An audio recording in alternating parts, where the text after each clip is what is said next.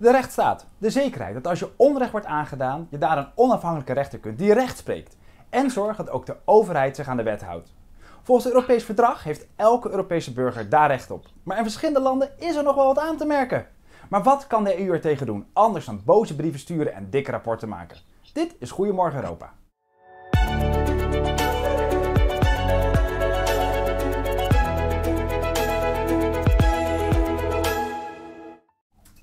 Ja, goedemorgen Europa. Ik ga zo in gesprek met Lara Wolters van de Partij van de Arbeid en Tineke Strik van GroenLinks.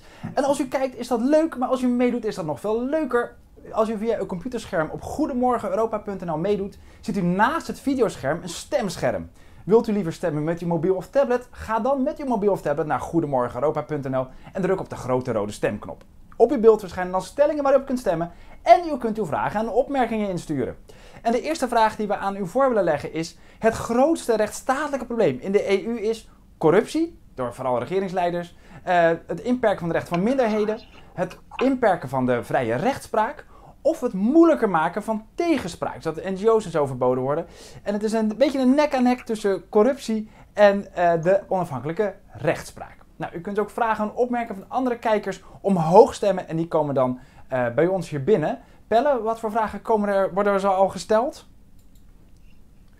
Is dit het zeuren over de rechtsstaat niet gewoon een strategie van Nederland om de budgetonderhandelingen te vertragen? Nou, die gaan we zo ook eens even stellen. Daar gaan we een tweede blokje over hebben.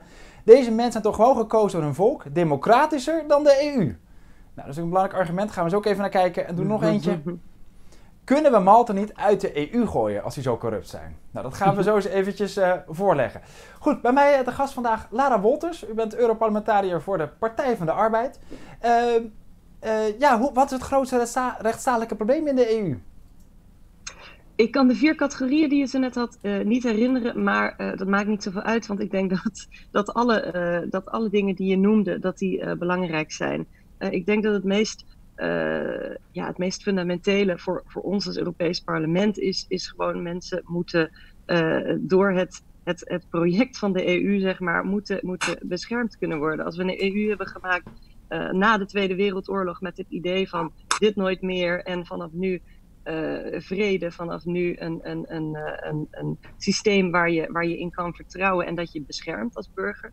Dan moeten we niet hebben dat, uh, dat, we, dat, uh, dat we dat 50 jaar later weer met z'n allen gaan, gaan afbreken. maar het belangrijkste, kijk, in elk land, er zijn verschillende landen op dit moment waar problemen zijn. En in elk land zijn de problemen misschien net anders. maar in al die landen zijn, staan burgerlijke vrijheden onder, onder druk. en kunnen er men, mensen er niet van uitgaan dat zij nou ja, dat zij, zij netjes en neutraal behandeld worden door de staat en kunnen zijn wie ze, wie ze willen zijn. Ja, u bent onder andere lid van de budgetcommissie. Die houdt in de gaten of EU-geld wel goed besteed wordt. En u bent uh, met een aantal collega's op bezoek gegaan in Tsjechië. Want daar is het, de verdenking dat de uh, premier Babis, dat hij zijn bedrijf wat hij heeft opgericht, dat hij dat nogal uh, voortrekt als het gaat om EU-subsidies en dat hij belangen verstrengelt. En u bent gaan kijken of er voldoende rechtsstatelijke methoden zijn om dat in de gaten te houden. Wat trof u aan daar? We zijn uh, inderdaad met de budgetcontrolecommissie is dat naar Tsjechië geweest om te praten met de overheidsinstanties die Europees geld daar uh, moeten uitkeren. Um, en uh, dat deden we omdat we het belangrijk vinden om te begrijpen hoe geld daar wordt uitgekeerd. Omdat er berichten zijn dat toch wel een heleboel van dat geld steeds terechtkomt bij Agrofert. En Agrofert is inderdaad het bedrijf van, uh, van meneer Babis. Daar is hij miljardair mee geworden. Uh, en uh, dat zou hij op afstand hebben gezet, maar dat blijkt toch niet helemaal het geval te zijn. En er zijn mensen die zeggen dat, dat Babis dat hij eigenlijk alleen de politiek in is gegaan, omdat hij op een gegeven moment, omdat, hij, omdat het lastig werd om de zittende politici in Tsjechië te beïnvloeden. Uh, voor zijn bedrijf, hè, om gedaan te krijgen wat hij wilde voor zijn bedrijf. En dat hij dacht, nou, dan ga ik, dan ga ik er zelf maar zitten. Um, en wat wij aantroffen was dat overheidsinstanties, dat die ons zeiden van ja, echte, uh, echte goede checks en echte uh, methoden om te kijken waar dat geld terechtkomt. of het niet allemaal bij Agrofert terechtkomt, hebben we niet. En echte methoden om ja, te checken op belangenverstrengeling, um, die, die hebben we niet. En dat baarde ons grote zorgen. Ja, nou zou je verwachten dat de Tsjechische belastingbetaler super blij is dat het Europees Parlement dat, uh, dat komt controleren. Uh, maar met name uw Tsjechische collega's hebben hele nare mailtjes, hebben zoals doodsbedreigingen erover gekregen, toch? Ja, dat klopt. nu is het zo dat de Tsjechische leden van het parlement die mee waren op die missie, dat dat niet leden waren van dezelfde partij als meneer Babis. Dus in wezen uh, ja, werd een, een, een intern Tsjechisch gevecht werd, uh, ook een beetje uitgevochten via die, die missie. Um, maar uh, nee, het, het, klopt dat, dat meneer Babis dat hij de, de, de boel flink heeft, heeft opgestookt toen. Maar hoe, hoe lukt het um, hem om, zeg maar, als hij persoonlijk rijker wil worden van EU-gelden, hoe lukt het hem om dat op zo'n manier in het debat te brengen, dat een heleboel mensen in Tsjechië denken, dit is goed voor mijn land? Uh, ik geloof dat, uh, dat een van de dingen uh, die veel over hem werd gezegd, over meneer Babis in de verkiezingen, toen hij, toen hij premier werd, van die man die is zo rijk, die hoeft niet te stelen. en ik denk dat dat soort dingen ook over meneer Trump zijn gezegd, van hè, die, die man is zo succesvol, dat, ja, dat is ook een goede leider van een, van een land. dat, dat, blijkt, dat blijkt niet, niet op te gaan. maar ik denk dat een heleboel mensen denken van die, die die meneer Babis, dat is een, dat is een no-nonsense meneer. Um, en um, ja, sinds de toetreding van Tsjechië bij de EU uh, is, er, uh, is er met Europees geld is er veel gebeurd daar. Uh, dus laat die fijn zijn. Het, het gaat wel zo. Maar als je spreekt met kleine boeren, bijvoorbeeld met kleine bedrijfjes, die zeggen allemaal: ja, het geld wordt allemaal opgeslokt door een aantal hele grote bedrijven die onder die Agrofert groep vallen. En het komt niet bij ons, uh, bij ons terecht. Maar ja, als je heel veel mensen in dienst hebt, dat Agrovert heeft uh, meer dan 30.000 mensen in dienst, heb je dus ook een heleboel mensen die zeggen van, nou ja, hè, voor, ons, voor ons niet zo'n probleem. Voor ons niet zo'n probleem. Tineke Strik, u bent Europarlementariër voor GroenLinks. Uh, wat is volgens u het grootste rechtsstatelijke probleem in de EU? Ja, ik, ik, denk dat ze heel nauw verweven zijn met elkaar. Uh, ik zit in de, in de LIBE-commissie, dat is de Commissie voor Burgerlijke Vrijheden en Recht en Veiligheid. En daar proberen we ook uh, de rechtsstatelijke ontwikkelingen goed te volgen. En je ziet, uh, ik begrijp heel goed dat corruptie hoog staat, want je ziet het met name ook in Tsjechië, zoals Lara net beschreef. Uh, Bulgarije speelt het nu in Malta. En als er hoge mate van corruptie is, zeker bij de overheid, dan verlies je ook alle andere waarborgen die je nodig hebt als burger om vrij te zijn, om je mening te uiten, om uh, uh, ja, uh, vertrouwen te kunnen hebben in, in, in, rechters, dat ze jou beschermen tegen de overheid. Dus het is allemaal heel nauw verweven met elkaar. en daarom begrijp ik ook dat de onafhankelijke rechtspraak hoog scoort en de bescherming van minderheden. En die problemen zie je juist ook heel erg in Polen en, en Hongarije spelen. waar nu zeg maar Orbán en Duda, dus de regeringsleiders van die landen, weliswaar op een meerderheid kunnen rekenen. Maar waar uh, eigenlijk iedereen ook zegt van um, zij controleren zo totaal de media. Zij bepalen zo wat uh, burgers weten. Dat je ook niet kunt zeggen dat mensen heel bewust uh, die keuze maken. En, en zeker voor mensen die, die graag een andere mening willen uiten, die kritisch willen zijn, is, zijn dit echt hele gevaarlijke ontwikkelingen. Ook waar het gaat om minderheden, hè? niet alleen etnische minderheden, maar ook LBGTI-mensen, dus homoseksuele mensen, transgenders, uh, allerlei minderheden. Die, ja, die zien hun, hun, hun ruimte heel erg beperkt in die landen. Ja. En ik denk dat het daarom juist heel belangrijk is om te laten zien dat de Europese Unie niet alleen voor de regeringen er is, maar juist ook voor de burgers er is. Hè? We hebben ja, waar u zich heel erg heeft opgewonden is de misstanden in Kroatië. Daar uh, uh, worden asielzoekers aan de grens heel, nogal slecht behandeld. En u, ik quote u, de commissie lijkt het belangrijker vind, te vinden dit onder de pet te houden dan dat de mensenrechten worden nageleefd.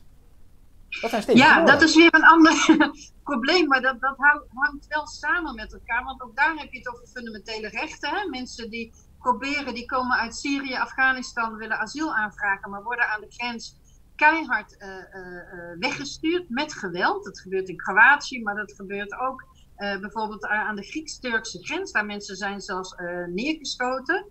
En dan hebben we echt een Europese commissie nodig die toezicht houdt en die zegt van dit pikken we niet, want ook daar moeten de fundamentele rechten gewaarborgd worden. Wij hebben daar hoorzittingen op georganiseerd en we hebben juist ook heel erg erop gehamerd dat de Europese Commissie haar rol serieus moet nemen als neutrale toezichthouder. En daar zie je toch ook wel dat de commissie. Commissie is ook politiek, hè? De commissie, daar zitten allerlei uh, uh, vertegenwoordigers van lidstaten in. Dat ze geneigd zijn om lidstaten af te dekken.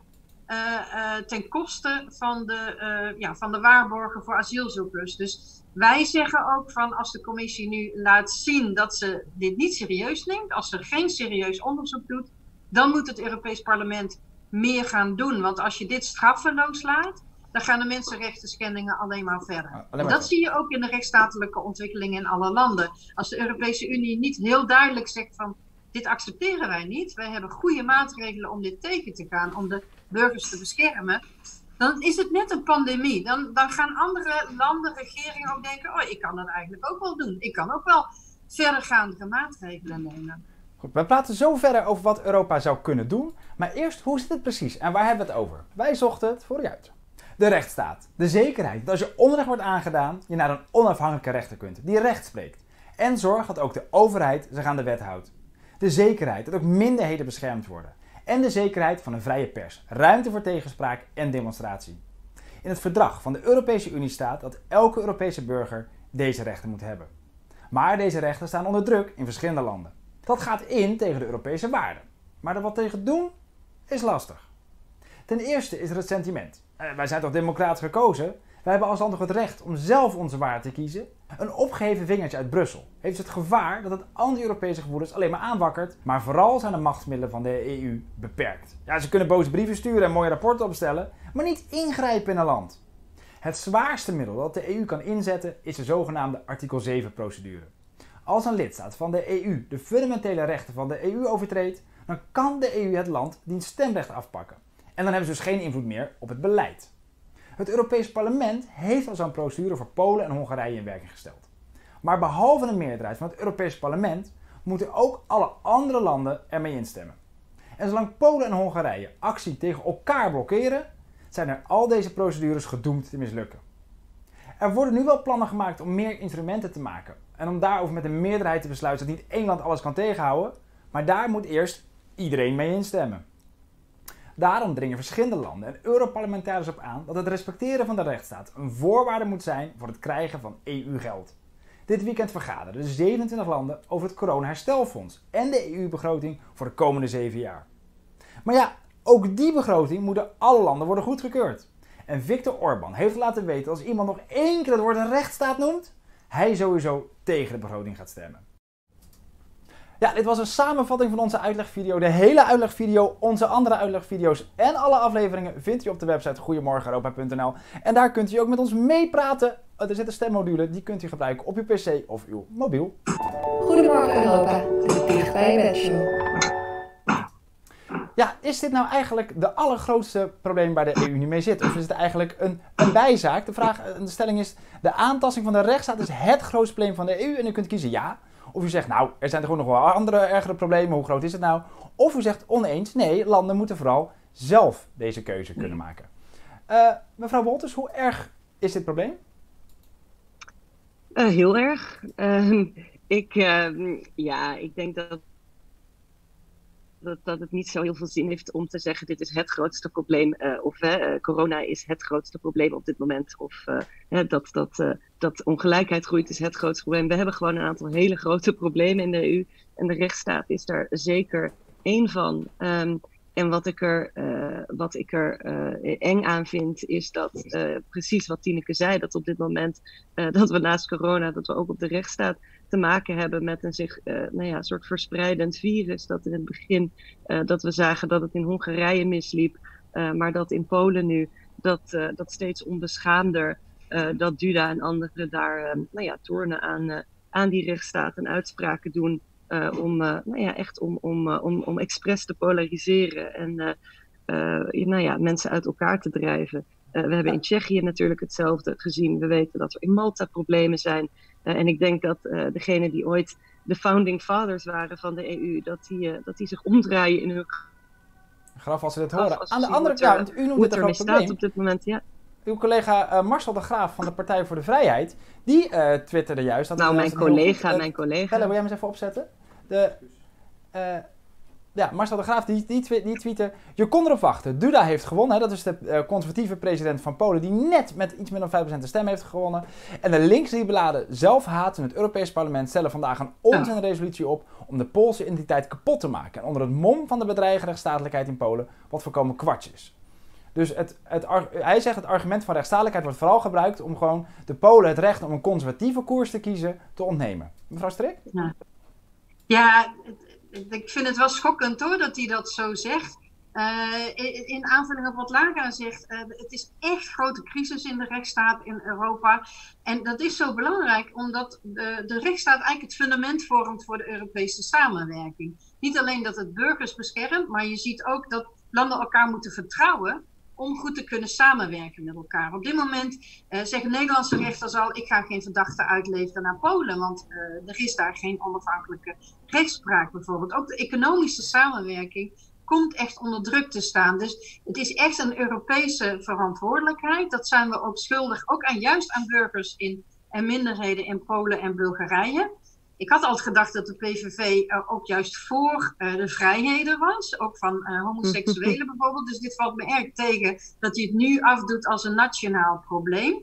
Uh, de mensen daar hebben gewoon recht op onze bescherming. Anders is de Europese Unie. Anders kun je juist van hen ook teleurstelling in uh, de Europese Unie verwachten, natuurlijk. Ja, en is dit ook voor, voor, voor Nederland? Hè? Dus uh, als er fraude met uitkeringen door mensen uit Polen is, of ik ben een bedrijf en ik exporteer naar Polen, moet ik dan ook vrezen voor, voor, voor, voor problemen?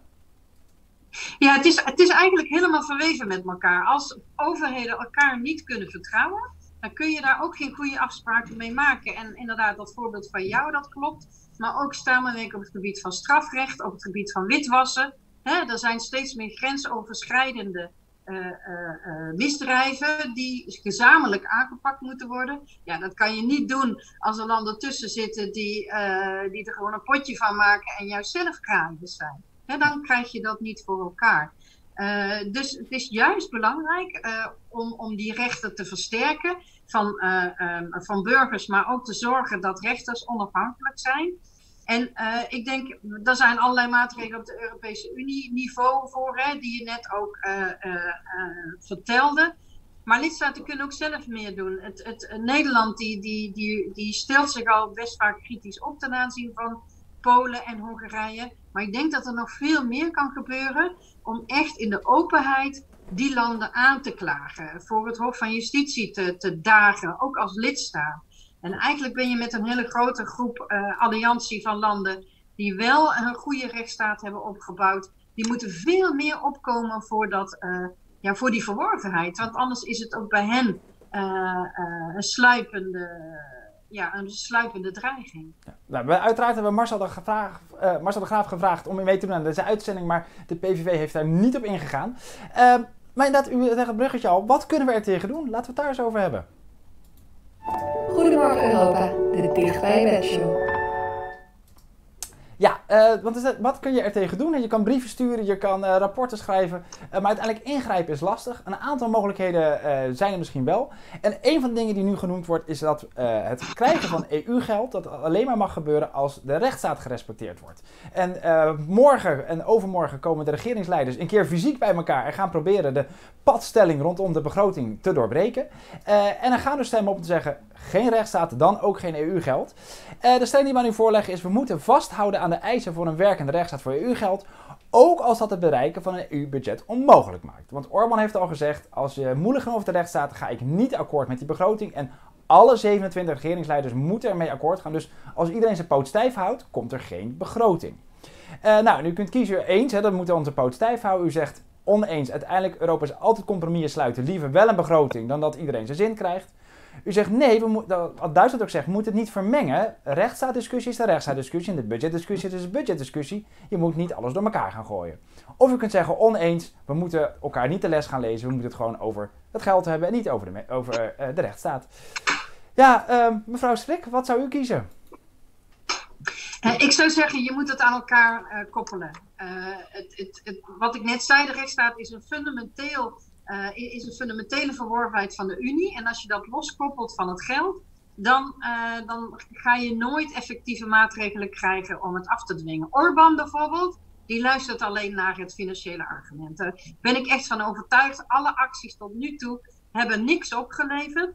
Dus ik denk dat de Unie nu uiteindelijk moet, moet zeggen van het gaat om zoveel geld. Hè? Het gaat om duizenden miljarden euro's voor herstel van de economie, maar ook voor gewoon het Uniebudget, voor alle andere zaken koppel het nou, zodat je ook echt uh, een stok hebt om te zorgen dat landen hun hervormingen gaan doorvoeren. Want anders zal, zal het echt niet gaan gebeuren. Ja. En ik, ben, ik, zie, ik, ik zie hard knikken. Uh, maar ja, het resultaat hiervan natuurlijk, als we dit inderdaad doen, dat klinkt mooi. Maar dan zegt Orbán en Babi zeggen gewoon, dan geen EU-begroting.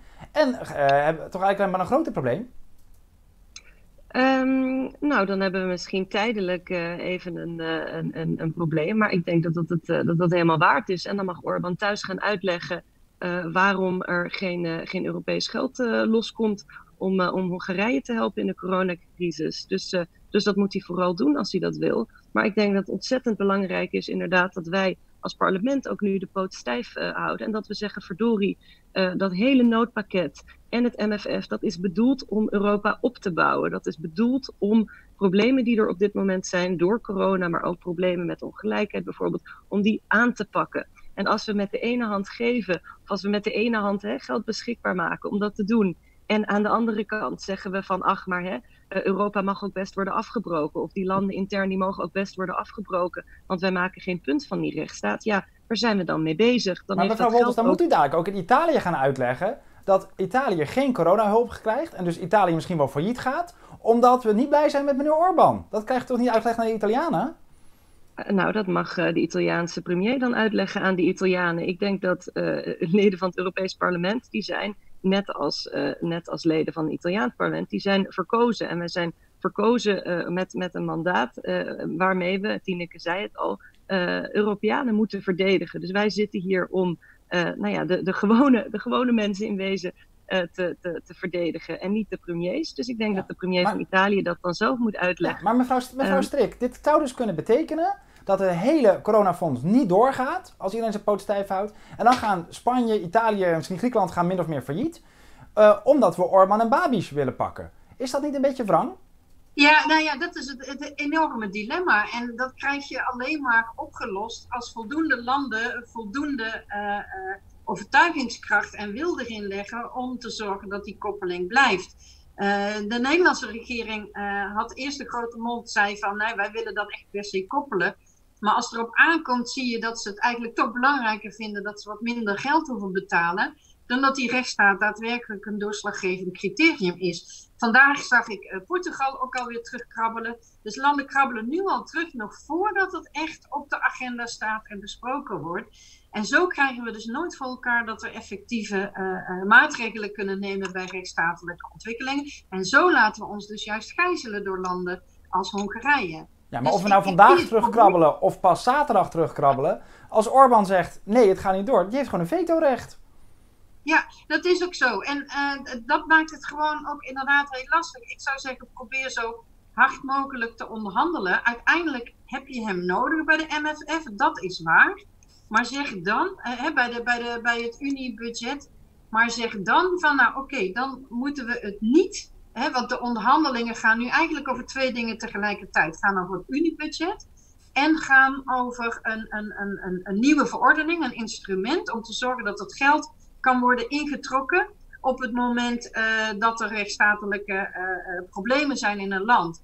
En daar heb je geen unanimiteit voor nodig. Hè? Dus dat wordt met gewone meerderheden besloten. Zeg dan als lidstaten, oké, dan gaan we het juist loskoppelen, die besluitvorming. Dan gaan we het nu over het budget hebben. Gaan we later spreken over die verordening. En dan moet er gewoon genoeg overeenstemming kunnen zijn met de meerderheid van lidstaten om die verordening aan te nemen. En dat heeft dan ook effect voor het hele Uniebudget. Wat Hongarije heel slim doet, is het juist, hè, die rechtsstatelijke discussie helemaal hier intrekken. Zeggen van, ik geef alleen maar instemming met het budget als we die uh, andere, die rechtsstatelijke uh, uh, sancties niet krijgen. En ja, daar moet je gewoon slim genoeg zijn als lidstaat om te zeggen, dat gaan we niet laten gebeuren. We gaan, het niet, we gaan ons niet laten gijzelen. Mevrouw Wolters, een van onze kijkers merkt op, die zegt ja, eigenlijk Nederland doet zo moeilijk over de rechtsstaat, omdat ze eigenlijk gewoon op die manier het EU-budget omlaag willen krikken. Gelooft u in de, in, in, de eerlijke intenties van, uh, uh, van de Nederlandse regering? nee, nee. En dat vind ik ontzettend jammer, maar het is een gelegenheidsargument geweest, denk ik. Um, dus er werd gehamerd inderdaad tot nu toe door Rutte of tot, tot, nou, tot een tijdje geleden op die rechtsstaat. Maar wat blijkt nu, uh, Tineke zei het al, dat wordt, dat wordt, nu, dat wordt nu minder, omdat toch is gebleken dat, dat een kleiner EU-budget, dat dat de eigenlijke prioriteit van Rutte is. En dat is ontzettend zonde. Ik denk dat je echt een breekpunt moet maken van dit mechanisme. Uh, het is een zwaktebod om te zeggen van, uh, van we, we, hebben, we hebben nou eenmaal dat, dat compromis nodig. Je moet altijd compromissen sluiten. Maar de rechtsstaat en mensenrechten zijn zo fundamenteel. Het is niet voor niets dat we hè, een verklaring van de rechten van de mens hebben. Dat we zeggen dat staat boven al het andere. Of hè, dat is iets waar je niet op kan afdingen. En om dan zo nou ja, de markt op te gaan zeg maar, met die principes en te zeggen van nou ja goed, hè, als de Nederlandse belastingbetaler een paar stuivers kan kan besparen door dit overboord te gooien. Uh, dat vind ik echt een zwakte bot. En ik, het, ja, het, valt me, het valt me echt vies tegen. Ja. Een andere kijker merkt op hoe verkopen we dit soort dingen eigenlijk aan kandidaatlidstaten. Tegen hen zeggen we immers geen rechtsstaat, geen EU-lidmaatschap. Mevrouw ja. Strik, ja, kandidaat, heel veel mensen hebben het nu toegelaten tot de EU omdat we dachten, nou als ze erin zitten dan komt het wel goed met die rechtsstaat. moeten we dat, die fout niet nog een keer maken? En moeten tegen landen als Albanië of zo zeggen, eerst de rechtsstaat perfect, dan pas mag je erbij? Ja, ja die, die, die eisen zijn sindsdien ook wel veel strenger geworden hoor. En um, uh, met Noord-Macedonië en Albanië heb je gezien, daar is nu besluit genomen om te beginnen met de onderhandelingen. Maar de methode is wel veranderd om te beoordelen of ze, wanneer ze klaar zijn voor, uh, voor toetreding. En rechtsstaat staat eigenlijk bovenaan uh, het lijstje van criteria. Wat ik daar heel belangrijk aan vind, is um, dat we niet alleen maar afwachten uh, totdat ze eraan voldoen, maar dat we ze gewoon heel actief steunen bij die hervormingen op het gebied van de rechtsstaat. Want wij kunnen daar heel veel in betekenen. Voor, voor die landen is het heel belangrijk om te kunnen toetreden, ook voor ons trouwens, want dan kunnen we eindelijk gewoon wat, wat regionale stabiliteit brengen in, in, in dat gebied, wat ook Europa is. Maar we moeten ze niet aan de lot daarvan overlaten. Dan krijg je alleen maar meer nou ja, Russische invloed, Chinese invloed, Turkse invloed. Al die landen die juist niet presteren op het gebied van de rechtsstaat, die hebben daar steeds meer invloed. Dus wij moeten daar veel proactiever uh, zijn om, om, om hen daarbij uh, de goede kant op te steunen. Ja, helder. Uh, nou gaat de EU gaat vanaf september iets nieuws doen. Dat die gaat de, een rechtsstaatmonitor gaan ze aanleggen. En ze gaan ook van 161 landen gaan ze in kaart brengen, waaronder ook de EU-landen, hoe het met de burgerlijke vrijheden zit in de tijden van corona. Uh, ik denk, weer dikke rapporten, mooie cijfers, maar het helpt weer helemaal niks. Als je er niet ook een leger bij hebt om het, te kunnen, ja, er iets tegen te kunnen doen, mevrouw Wolters.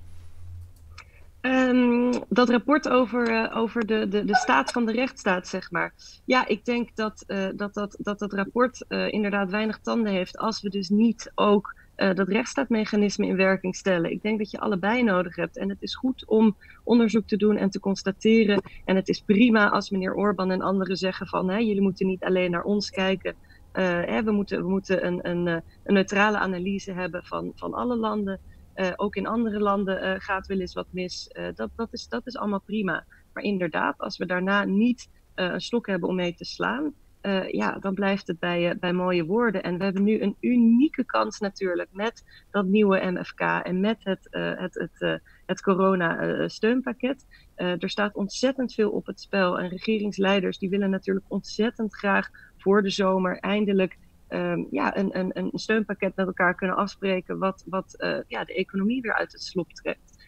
Um, en omdat we dus zo'n grote kans hebben en omdat die, die, um, uh, ja, die leverage, hoe, zeggen we dat, maar zo groot is, moet je dus uh, nu zeggen van, en, en dat alleen maar met die rechtsstaat. het is niet zo dat, ja, dat, ze, dat ze makkelijk zullen weglopen natuurlijk bij onderhandelingen over zo'n zo'n groot budget. dus gebruik dat, gebruik dat moment dan ook. Nou, mevrouw Strik, uh, hier, iemand vraagt hier: is er voldoende rechtsbasis om actie te ondernemen? Het is eigenlijk een beetje jammer dat we het geld moeten gebruiken om dit af te dwingen. Um, ja. Zou de EU niet gewoon betere instrumenten moeten krijgen? En is dat überhaupt haalbaar als die instrumenten moeten worden afgesproken met instemming van ook de zwarte schapen? Ja, ja uh, precies. Kijk, um, dat geld is één van de instrumenten. Daarnaast, uh, je hebt volgens mij net ook al artikel 7 uitgelegd. En, en daarin moeten lidstaten elkaar aanspreken. Nou, het, probleem daar is dus dat landen tot nu toe veel te terughoudend zijn om elkaar echt aan te spreken. Hè? Dan zijn ze bang dat ze ook zelf weer worden aangesproken of kritiek krijgen. En die tijd moet echt voorbij zijn. Uh, tegelijkertijd laten zien, hè, ten aanzien van Polen en Hongarije hebben nu al jaren een artikel 7-procedure lopen. Af en toe wordt er een hoorzitting georganiseerd. Maar voordat er echt besluiten worden genomen, dat wordt steeds vooruitgeschoven. Zelfs het Duitse voorzitterschap gaat dat voor zich uitschuiven. Dus daar heb ik heel weinig geloof in. Hoewel dat zou kunnen leiden tot ontnemen van hè, stemrechten, allerlei andere uh, rechten. Uh, wat daarnaast natuurlijk heel belangrijk is, is dat de Europese Commissie ook gewoon die landen voor het Hof uh, van Justitie blijft dagen. Dat hebben ze nu al in verschillende zaken ook gedaan. Hè? Toen met name de rechtspraak in, in, in Polen echt ook in gevaar is, omdat ze nu worden gecontroleerd door de regering. Um, en dat moet de commissie blijven doen. En ik denk dat wij er heel waakzaam op moeten blijven dat ook binnen de commissie, hè, daar zitten ook commissarissen uit Hongarije en uit Polen, dat die niet zoveel invloed hebben op die besluiten van de commissie om al dan niet actie te ondernemen, dat ook dat wordt gestremd. En, en daar hebben we toch al aanwijzingen voor dat dat gebeurt. Dat is heel kwalijk. En ik zei het net ook al, um, Nederland doet het al best vaker, maar moet het nog vaker doen, net als andere alle landen. Er is genoeg rechtsbasis in het verdrag om landen aan te spreken. En dan gaat het, om hele Het is een kwestie van wil dan een kwestie uh, van of de mogelijkheden er wel zijn. Laten wij eens even kijken. De mogelijkheden zijn er wel. Laten we eens kijken wat de invloed van corona is. Goedemorgen Europa, de Dichtbij Show. Ja, want uh, door corona zijn natuurlijk in heel veel landen opeens heel veel burgerlijke vrijheden worden flink ingeperkt. En in veel landen maken mensen zich er zorgen over of dat wel rechtsstatelijk is. Onder andere in Nederland. De wet van de regering om uh, alle maatregelen van corona in een echte wet te stoppen, stuit op behoorlijk wat verzet van burgerrechtenorganisaties. Zij vinden dat het parlement en de rechter te weinig te zeggen heeft over deze impact van vrijheid. En dan, Europa is voor veel mensen het beloofde land. Jaarlijks wagen vele mensen de gevaarlijke oversteek van onze buitengrens. In Griekenland en Italië zitten asielzoekers in mensonterende omstandigheden. Het is de laatste tijd natuurlijk niet te veel in het nieuws geweest tegen corona, maar ze zijn er nog zeker wel. En veel landen weigeren hun eerlijke deel daarvan op te nemen. Het Europese Hof oordeelde al dat dat tegen de wet is. Hoe kunnen de rechtsstaat ook in deze moeilijke tijden voor iedereen laten gelden? En de stelling die wij eigenlijk aan u voorleggen is: de rechtsstaat kan alleen functioneren als we een streng migratiebeleid hebben. Uh, want als ik de grenzen zomaar openzet, zou je kunnen zeggen, dan, uh, hoe kun je dan nog de recht voor iedereen laten gelden? Uh, is dat niet, hoort het niet bij elkaar? Mevrouw Strik, hoorden die dingen bij elkaar? Een streng migratiebeleid en een goed functionerende rechtsstaat? Of kan het een ja, wat is streng? Dat is, dat is heel echt de vraag. Je moet gewoon een rechtvaardig asielbeleid hebben. Dus natuurlijk moet je kunnen selecteren wie er binnenkomt in Europa. Maar we moeten onze verantwoordelijkheid voor vluchtelingen wel nemen. En daarom moet iedereen die zich aan de grens meldt en zegt van ik heb bescherming nodig, heeft recht op een eerlijke beoordeling van zijn of haar asielverzoek. Daar gaat het nu vaak juist mis in, ehm, in coronatijd, omdat je ziet dat, nou ja, bijvoorbeeld Griekenland, maar zelfs ook in Nederland, de, de toegang tot een asielprocedure is opgeschort. Dus je kon geen verzoek doen om asiel. En met name aan de Griekse grenzen zie je dat mensen nou ja, in, in, in een soort wacht plekken komen te zitten in detentie, in hele slechte omstandigheden. Uh, en ook in de kampen, zeg maar, waar ze moeten blijven, die veel te veel, uh, die echt overbevolkt zijn, waar te weinig water en medische zorg is. Um, en waar je, zoals je terecht zegt, uh, andere landen dus niet te hulp schieten. En um, ook weer met het argument corona, van hè, we vinden het te eng om mensen over te nemen. Daar moeten we echt laten zien dat we solidair zijn en dat we eh, gezamenlijke verantwoordelijkheid hebben voor de asielzoekers.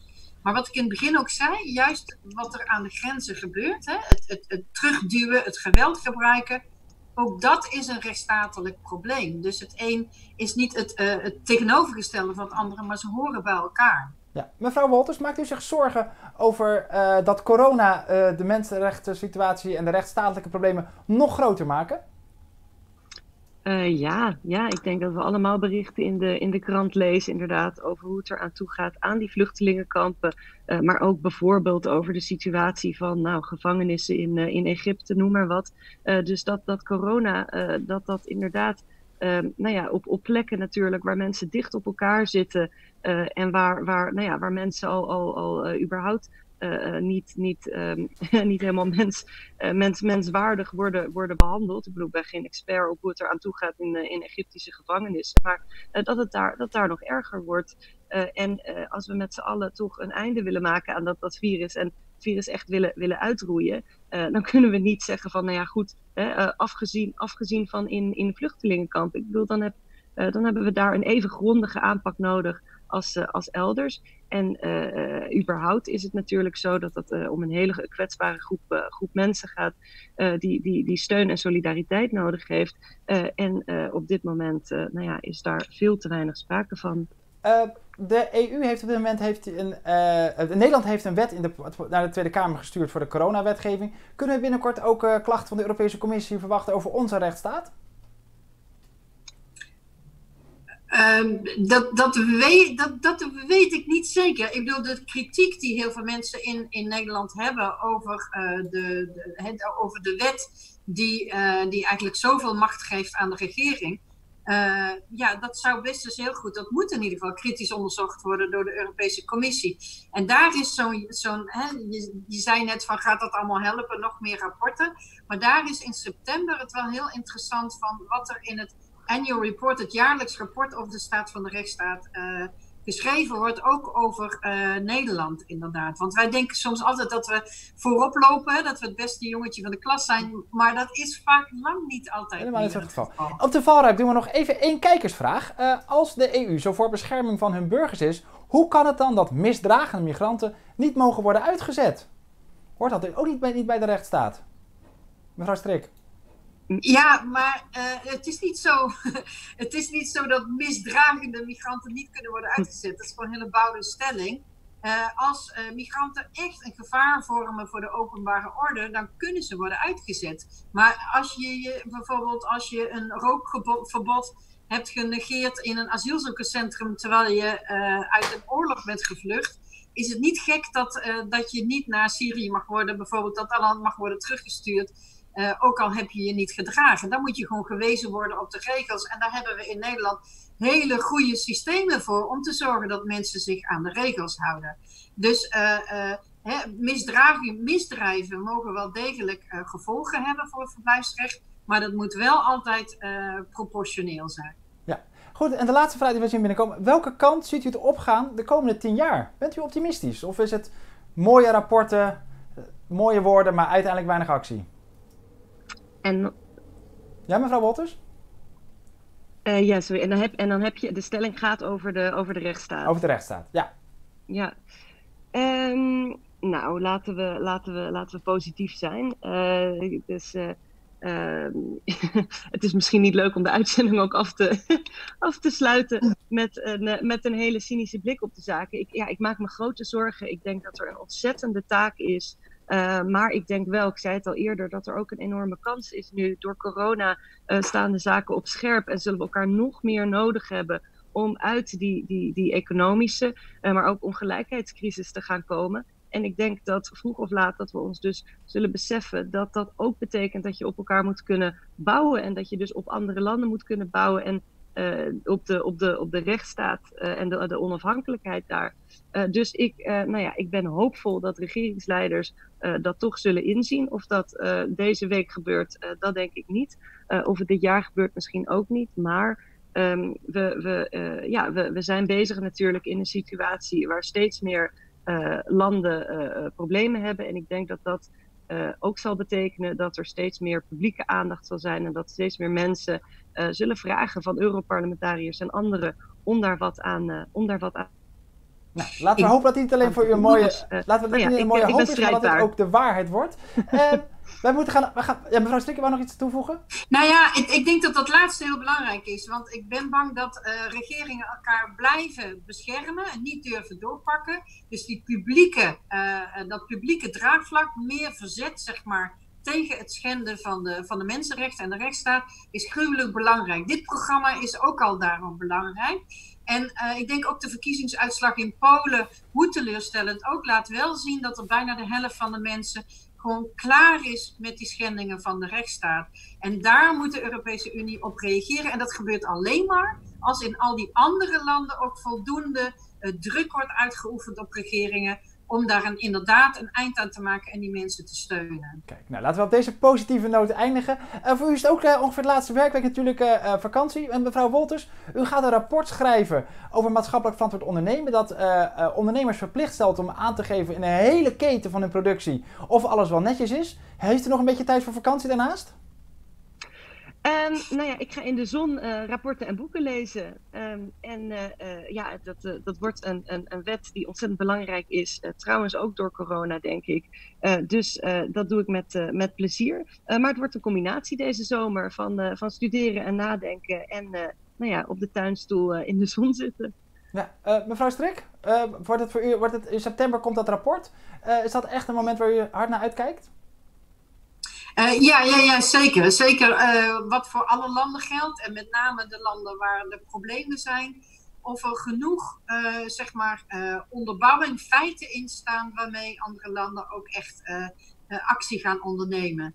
Verder hebben we als parlement de, regering, de Griekse regering gevraagd om nu echt onderzoek te doen naar het neerschieten van migranten aan de grens.